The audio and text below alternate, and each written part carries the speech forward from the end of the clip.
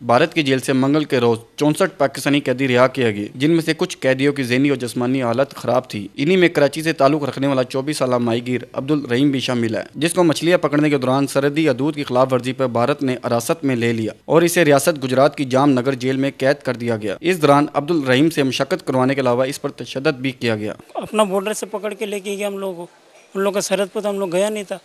उन लोगों ने अपना दुश्मनी पूरा करने के लिए पकड़ के ले गया। मच्छी पकड़ने गया था बोट में करके। वहाँ पे पकड़ लिया। दिन में तीन चार घंटा काम करवाता था घास टूटवाता था। जिसके बाईस अब्दुल रहीम में जिसमानी पेचीदगियाँ पैदा हो गई। अब्दुल रहीम को उसकी खराब जिसमानी हालत की वजह से भारत से रिहाई के एक रोज बाद ही सर्विसेज़ अस्पताल लाहौर में दाखिल करवा दिया गया जहाँ डॉक्टरों की रवायती लापरवाही ने उसकी नॉर्मल ज़िंदगी गुजारने की ख्वाहिश को कुचल कर रख दिया जबकि इंतजामिया भी उसे दाखिल करवाकर गायब हो गई। यहाँ पे मेरा इलाज सही तरीके से नहीं हो रहा है क्योंकि इधर मेरा कोई खातिरदारी करने वाला नहीं है। अभी जो पर्ची में दवाई मवाई लिख के दे रहा है हैं? वो दुकान, वहाँ से ख़रीद के लेके आना पड़ता है, स्टोर से।